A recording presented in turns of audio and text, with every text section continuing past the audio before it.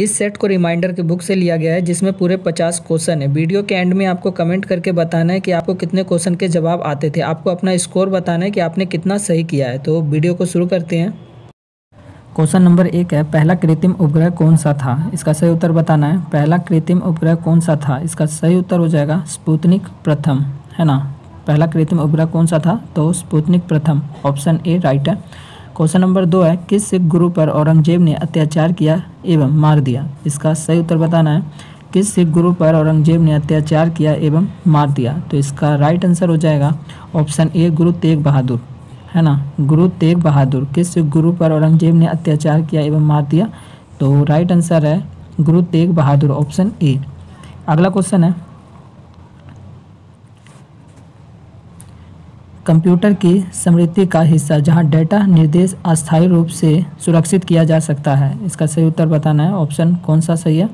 Computer की समृद्धि का हिस्सा, जहाँ डेटा निर्देश अस्थायी रूप से सुरक्षित किया जा सकता है। तो इसका राइट आंसर हो जाएगा hard disk, option C. Computer की समृद्धि का हिस्सा, जहाँ डेटा निर्देश अस्थायी रूप से सुरक्षित किया जाता है तो किया जाता है ये हार्ड डिस्क में। ऑप्शन सी, इसका राइट आंसर है। अगला क्वेश्चन है शरीर के आंतरिक अंगों का परीक्षण किस उपकरण द्वारा किया जाता है? क्वेश्चन है, शरीर के आंतरिक अंगों का परीक्षण किस उपकरण द्वारा किया जाता है? तो इसका राइट आंसर हो जाएगा ऑप्शन बी एंडोस्कोप है ना? शरीर के आंतरिक अंगों की परीक्षण किस उपकरण द्वारा किया जाता है? तो एंडोस्कोप द्वारा। ऑप्शन बी इसका राइट होगा। अगला क्वेश्चन है, चर्चित किताब हेमलेट किसके द्वारा लिखी गई है? चर्चित किताब हेमलेट किसके द्वारा लिखी गई है? इसका सही उत्तर बताना है। चर्चित किताब हेमलेट किसके द्वारा लिखी गई है? तो इसका सही उत्तर हो जाएगा विलियम शेक्सपियर ऑप्शन ए इसका राइट आंसर है है ना? हेमलेट किसके द्वारा लिखी गई है? ये एक किताब है है ना? चर्चित किताब हेमलेट किसके द्वारा लिखी गई है? तो ये विलियम शेक्सपियर द्वारा लिखी गई है। ऑप्शन ए राइट है।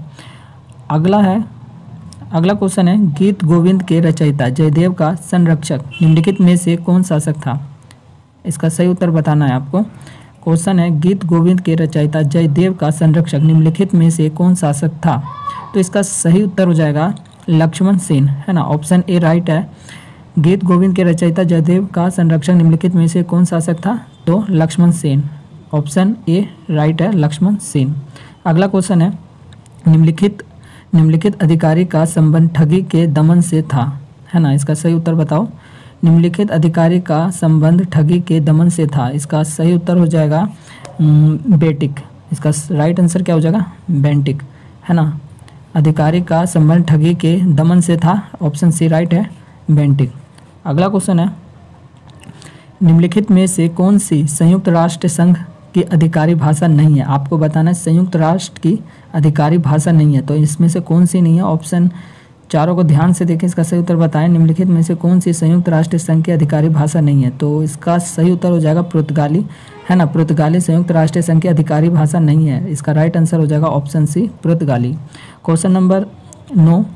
प्राचीन बुद्ध साहित्य में वर्णित जीवक क्या था? इसका सही उत्तर बताओ। प्राचीन बुद्ध साहित्य में वर्णित जीवक क्या था? इसका सही उत्तर हो जाएगा चिकित्सक। है ना? ऑप्शन डी राइट है, चिकित्सक। अगला क्वेश्चन है, आधुनिक ओलंपिक के पिता किसे कहा जाता है? क्वेश्चन है, आधुनिक ओलंपिक के पिता किसे कहा जाता है? तो इसका राइट आंसर हो जाएगा पियर डी कोवर्टीन है ना? ऑप्शन बी इसका राइट आंसर है। अगला है क्वेश्चन नंबर ग्यारह, बांग्लादेश में गंगा नदी को किस नाम से जाना जाता है? इसका सही उत्तर बताओ। बांग्लादेश में गंगा नदी को किस नाम से जाना जाता है? तो इसका राइट आंसर हो जाएगा, पद्मा। है ना? राइट आंसर हो जाएगा पद्मा ऑप्शन डी राइट है। बांग्लादेश में गंगा नदी को किस नाम से जाना जाता है? तो पद्मा के नाम से जाना जाता है ऑप्शन डी इसका राइट है। वीडियो के एंड में आपको ज़रूर बताना कि आपने कितने क्वेश्चन के जवाब सही दिए हैं, है ना? अपना स्कोर बताना ज़रूर कमेंट करके। अगला क्वेश्चन है, मदर ट्रेसा का जन्म कहाँ हुआ था? तो इसका राइट आंसर हो जाएगा अल्वानिया में ऑप्शन डी इसका राइट है। क्वेश्चन नंबर तेरह है ऑस्कर से विदूषित पहले भारतीय कौन थे? इसका सही उत्तर बताएँ जल्दी से। ऑस्कर से विदूषित पहले भारतीय कौन थे? तो इसका राइट आंसर हो जाएगा भानु अतैया है ना? ऑस्कर से विदूषित पहले भारतीय थे, भानु अथैया ऑप्शन सी इसका राइट आंसर क्वेश्चन नंबर चौदह है, कांचे का विख्यात कैलाशनाथ मंदिर किसने बनवाया था? इसका सही उत्तर बताना है, कांचे का विख्यात कैलाशनाथ मंदिर किसने बनाया था? तो ये बनाया था, इसका राइट आंसर हो जाएगा नरसिंह बर्मन द्वितीय, है ना? नरसिंह बर्मन द्वितीय ने बनवाया था कैलाशनाथ मंदिर को, ठीक है ना? ऑप्शन ए राइट है, नरसिंह वर्मन द्वितीय। क्वेश्चन नंबर पंद्रह है, किस हड़प्पा स्थल से चावल उगाने का साक्ष्य सूचित हुआ है? इसका सही उत्तर आपको बताना, जल्दी से बताएँ, किस हड़प्पा स्थल से चावल उगाने का साक्ष्य सूचित हुआ है? तो इसका राइट आंसर हो जाएगा रंगपुर, ऑप्शन सी अगला क्वेश्चन है, अगला क्वेश्चन है, राजस्व सुधारों को सर्वाधिक किसने चलाया? है ना? इसका सही उत्तर बताएँ, जल्दी से, राजस्व सुधारों को सर्वप्रथम किसने चलाया। तो इसका सही उत्तर हो जाएगा अलाउद्दीन खिलजी, है ना? राजस्व सुधारों को सर्वप्रथम किसने चलाया था? अलाउद्दीन खिलजी ऑप्शन बी इसका राइट है। आंसर है अलाउद्दीन खिलजी ऑप्शन बी अगला क्वेश्चन है, किसके सहयोग से बोकारो इस्पात संयंत्र की स्थापना की गई, है ना? इसका सही उत्तर बताओ जल्दी से। किसके सहयोग से बोकारो इस्पात संयंत्र की स्थापना की गई? इसका सही उत्तर हो जाए भूतपूर्व U S S R option B अगला क्वेश्चन है सिंधु लोगों को निम्नलिखित में से किस धातु का ज्ञान नहीं था? है ना? बहुत इजी क्वेश्चन है, जल्दी से इसका राइट आंसर बताओ।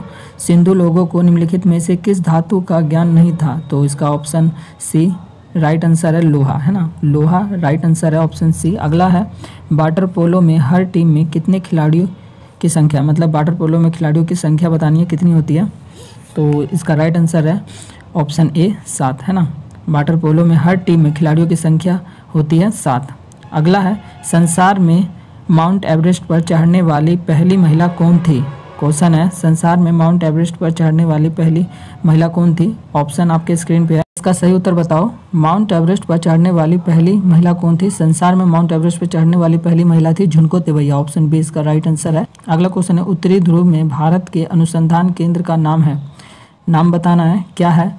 है ना? जल्दी से इसका सही उत्तर बताएँ। उत्तरी ध्रुव में भारत के अनुसंधान केंद्र का नाम बताएँ तो ऑप्शन सी इसका राइट आंसर है, हिमांद्री। अगला क्वेश्चन है, मोहम्मद बिन तुगलक निपुण था। इसका सही उत्तर बताएँ क्वेश्चन नंबर बाईस है, मोहम्मद बिन तुगलक निपुण था, किसमें था? इसका सही उत्तर हो जाएगा सुलेखन में, है ना? इसका राइट आंसर हो जाएगा ऑप्शन सी सुलेखन में। अगला क्वेश्चन है, भारत में नोट जारी करने की कौन सी प्रणाली अपनाई गई है?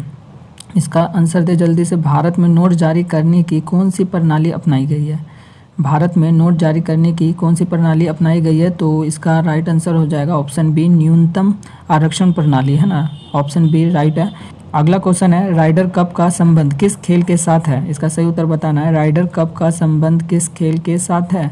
इसका राइट आंसर हो जाएगा गोल्फ ऑप्शन बी राइट है गोल्फ राइडर कप का संबंध किस खेल से है? तो गोल्फ से है। इसका ऑप्शन बी राइट आंसर है अगला क्वेश्चन है, मानव शरीर की सबसे बड़ी ग्रंथि कौन सी है? मानव शरीर की सबसे बड़ी ग्रंथि है, यकृत ऑप्शन बी राइट है।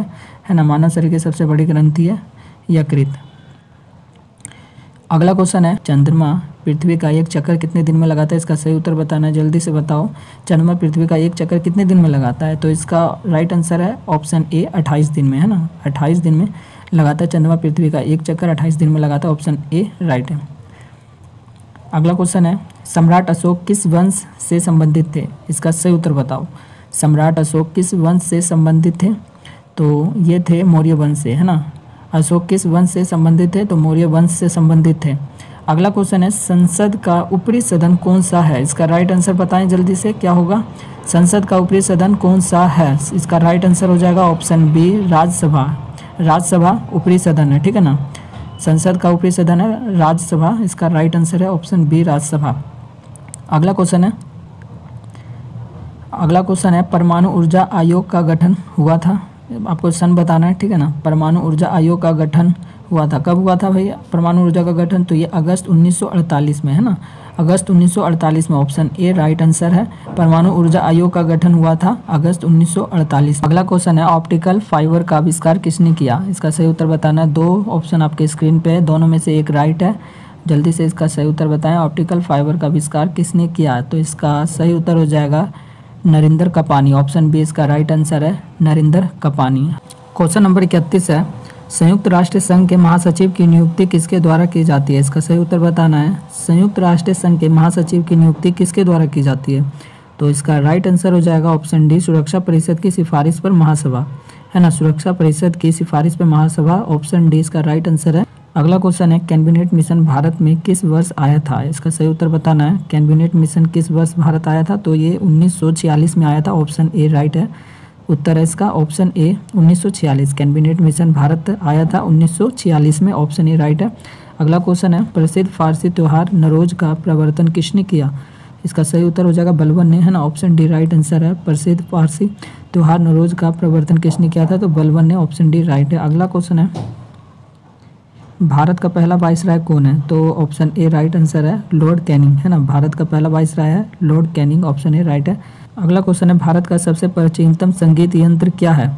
इसका सही उत्तर बताएँ। भारत का सबसे प्राचीनतम संगीत यंत्र क्या है? तो ऑप्शन सी इसका राइट आंसर है बीना, है ना? Bina, option C right answer है। अगला क्वेश्चन है, अंग्रेज़ों ने भारत में अपनी पहली फैक्ट्री कहाँ स्थापित की थी? इसका सही उत्तर बताएँ।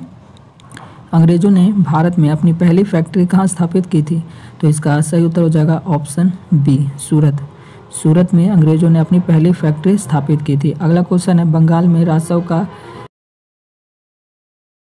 स्थायी बंदोबस्त, यानी स्थायी बंदोबस्त किसने लागू किया था?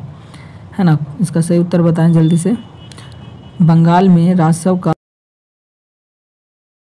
स्थायी बंदोबस्त किसने लागू किया था? तो इसका ऑप्शन डी राइट आंसर है कार्नवालिस, है ना? कार्नवालिस ऑप्शन डी राइट है।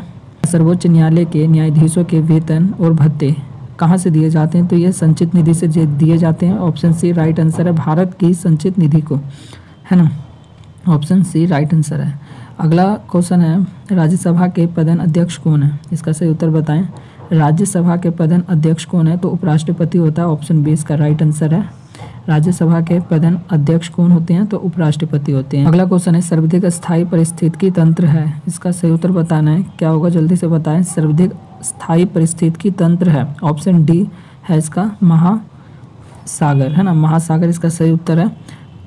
परिस्थितिकी तंत्र है। महासागर ऑप्शन डी राइट आंसर है। अगला क्वेश्चन है, श्वेत रक्त कोशिकाएँ किसमें उत्पन्न होती है? इसका सही उत्तर बताना है। श्वेत रक्त कोशिका किसमें उत्पन्न होती है? ऑप्शन आपके स्क्रीन पे जल्दी से इसका उत्तर बताएँ। श्वेत रक्त कोशिका किसमें उत्पन्न होती है? तो इसका सही उत्तर हो जाएगा श्वेत रक्त कोशिका है। अस्थि मज्जा और लसिका ग्रंथियों में उत्पन्न होती है ना? इसका ऑप्शन ए राइट आंसर है। अगला क्वेश्चन है, भारत का अंतरिक्ष स्पेस रॉकेट लॉन्चिंग केंद्र कहाँ है? इसका सही उत्तर बताएँ। भारत का अंतरिक्ष स्पेस रॉकेट लॉन्चिंग केंद्र कहाँ है? तो इसका सही उत्तर हो जाएगा ऑप्शन सी हरिकोटा, है ना? इसका सही उत्तर हो जाएगा हरिकोटा। भारत का अंतरिक्ष केंद्र जो है हरिकोटा में है। अगला क्वेश्चन है, निम्नलिखित में से कौन सा ग्रंथ कालिदास ने लिखा है? कालिदास के ग्रंथ बतानी है जो कालिदास ने लिखा है, इसका सही उत्तर हो जाएगा। ये तीनों ही जो आपको ऑप्शन में दिख रहे हैं ए बी सी के राइट आंसर है। है ना? ऋतु, संहार, कुमार, संभव, है ना? अभिज्ञान, शंकुंतलम, ये सभी कालिदास ने लिखी है ना? ये सभी कालिदास के ग्रंथ हैं तो इसका ऑप्शन डी उपयुक्त सभी हो जाएगा। अगला क्वेश्चन है पानीपत की पहली लड़ाई में बाबर ने किसको हराया था? इसका सही उत्तर बताएँ। पानीपत की पहली लड़ाई में बाबर ने किसको हराया था? तो ये हराया था इब्राहिम लोधी को। ऑप्शन बी इसका राइट आंसर है। इब्राहिम लोधी को। पानीपत की पहली लड़ाई में बाबर ने किसको हराया था? तो इब्राहिम लोधी को हराया था। ऑप्शन बी राइट आंसर है। अगला क्वेश्चन है। असहयोग आंदोलन को कब स्थगित किया गया था? इसका सही उत्तर बताना है। जल्दी से बताओ इसका सही उत्तर क्या होगा? असहयोग आंदोलन को कब स्थगित किया गया था? इसका सही उत्तर हो जाएगा ऑप्शन सी 1922 है ना? असहयोग आंदोलन को 1922 में स्थगित किया गया था। ऑप्शन सी इसका राइट आंसर है। अगला क्वेश्चन है, संसदीय शासन में वास्तविक कार्यपालिका शक्ति किसके पास होती है? संसदीय शासन में वास्तविक कार्यपालिका शक्ति किसके पास होती है? इसका सही उत्तर बताओ। क्या होगा? तो इसका सही उत्तर होगा प्रधानमंत्री, है ना? संसदीय शासन में वास्तविक कार्यपालिका शक्ति किसके पास होती है? तो प्रधानमंत्री के पास होती है। इसका राइट आंसर है ऑप्शन सी प्रधानमंत्री। अगला क्वेश्चन है। अधिकांश मौसम की घटनाएँ संबंधित है। इसका सही उत्तर बताओ, क्या होगा? अधिकांश मौसम की घटनाएँ संबंधित है तो ये क्षोभ मंडल से संबंधित है। किससे क्षोभ मंडल से। ऑप्शन बी इसका राइट आंसर है। अधिकांश मौसम की घटनाएँ क्षोभ मंडल से संबंधित है। ऑप्शन बी राइट आंसर है। अगला क्वेश्चन है। एक सिंग वाला गेंडा निम्नलिखित प्रदेशों में पाया जाता है। आपको बताना एक सिंग वाला गेंडा कौन से प्रदेश में पाया जाता है? कौन कौन से प्रदेश में पाया जाता है? जल्दी से इसका सही उत्तर बताएँ। एक सिंग वाला गेंडा निम्नलिखित प्रदेशों में पाया जाता है। तो इसका ऑप्शन ए राइट आंसर होगा।